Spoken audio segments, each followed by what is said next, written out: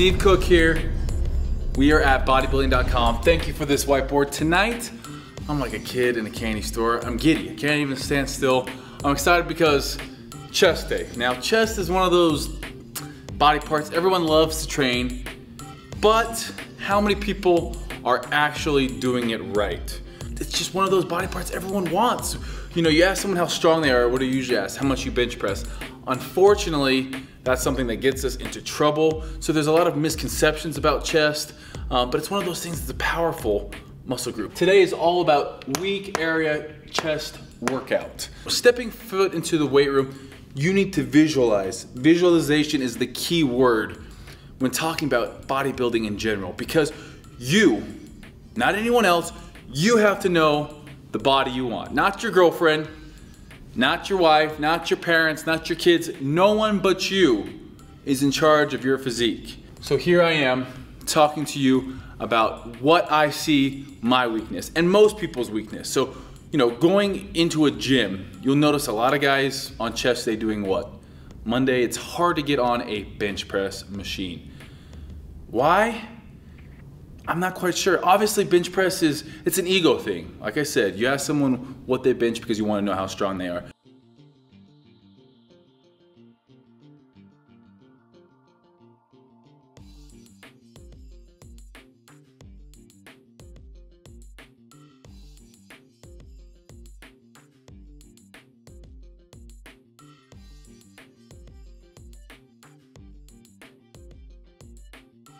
That's why today is all about training the upper pec, the outer pec, and then rib cage. Now, what I mean by rib cage is your pecs are set up on your rib cage. You know, you're not gonna change your genetic structure, you're not gonna change the insertions and everything, but cartilage, um, heavy compound exercises, and dumbbell pullovers done properly will lend, I think, to a larger expanded rib cage, which then sets up for a, a greater pec. My weakness has always been my chest, even though I've been strong on it.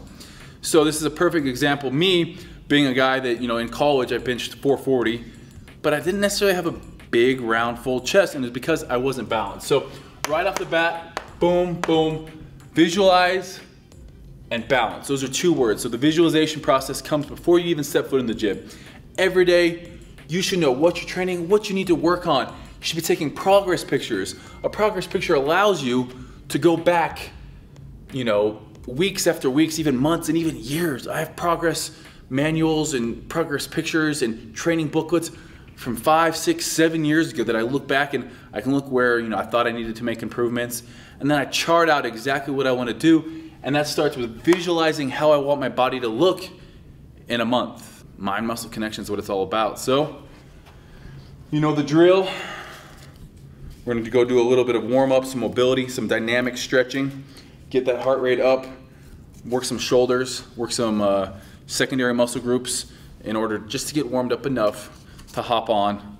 First thing we're gonna do is we're gonna go incline press. Gum goes in,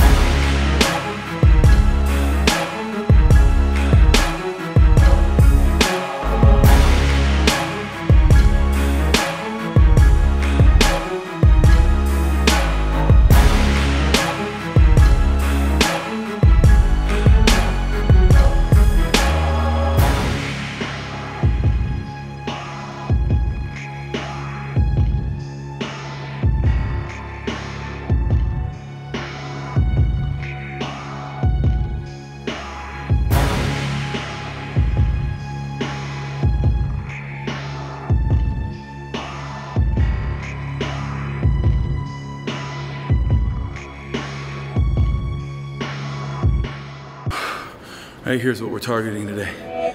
This outer part, that upper part, let's go.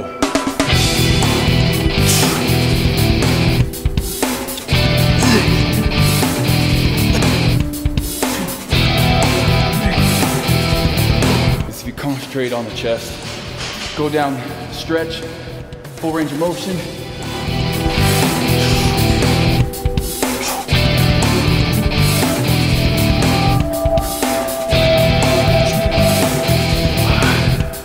Quite heavy enough, but it was a good feel set.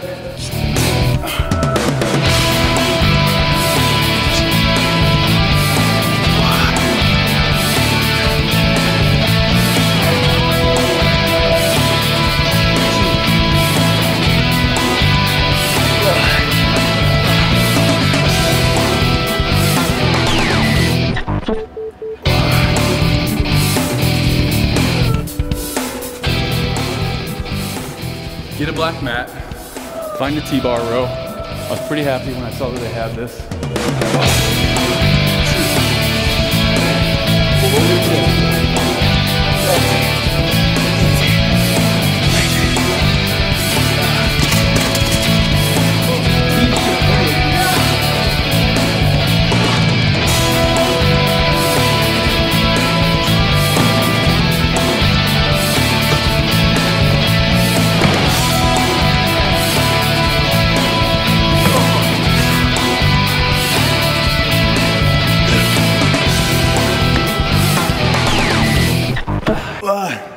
And it just takes away your breath when you drop it there. I can't breathe. Two.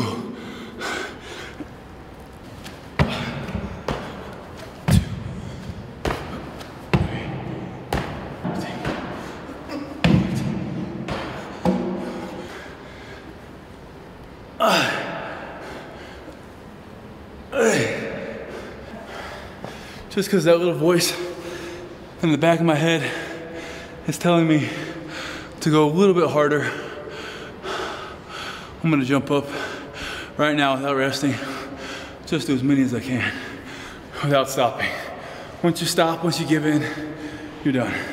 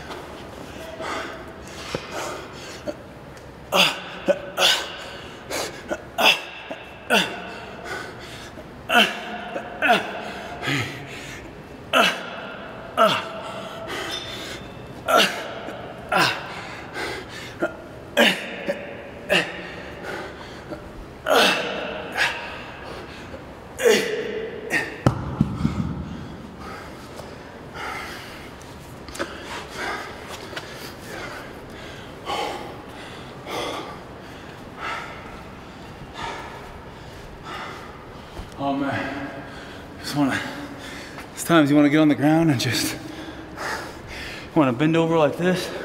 Don't do it. You know, don't sit. Keep your hands up. Hold that head up high.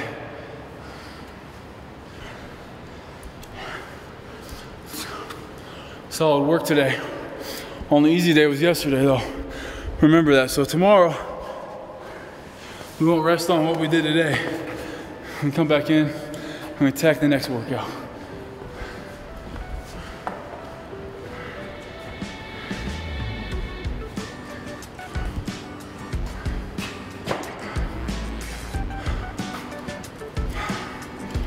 And there's no excuses. You know, there's always gonna be times you don't feel motivated, you don't feel like working out. But why did you start out in the first place? Why did you first step foot in the gym? What did you want to be in life? What did you want to see yourself transform and become? And when you feel like don't going, when you feel like staying home, watching TV, or that you know life's been too hard, you know, there's too many average people out there that uh, you know make every excuse in the book. We need more people that uh, are going to be doers and just get things done. So use the reasons you first got into the gym to keep you going. When progress feels like it's not coming fast enough, when there's stress, work, relationships, other obligations, let that motivation take hold and grow inside and become something that you can't live with yourself if you don't come and work out. Because by doing this hour and 15 minutes, you are giving back to yourself so much more by the flood of hormones that get released, the endorphins. We're not meant to be stressed out creatures inside a box all day, at a computer all day, on your cell phone all day, all in your car all day. You're meant to get outside, to get moving, to sweat, to push yourself, to feel like this is tough. That's what the human body was designed to do. That was chest training. Weak point area, whether it's your mind or your chest, you train it, you attack it, and you get better at it every day. We did a uh, new bodybuilding.com video today, shot for nine or 10 hours. Definitely feel like didn't, you know, didn't want to come, but shit, I'm glad I did right now. So uh, we're gonna finish off. I'm gonna do a couple more sets of abs. Hop up there, I'm gonna do some knee raises, um, some broomstick twist, then I'm done. I did enough cardio today. Um, but anyhow, look yourself in the mirror tonight. Right now, after this video, look yourself in the damn mirror and ask yourself, do you like what you see? Do you like who you see? If you don't, do something about it. We're all in this together. Swoldier Nation, Steve Cook, I'm out.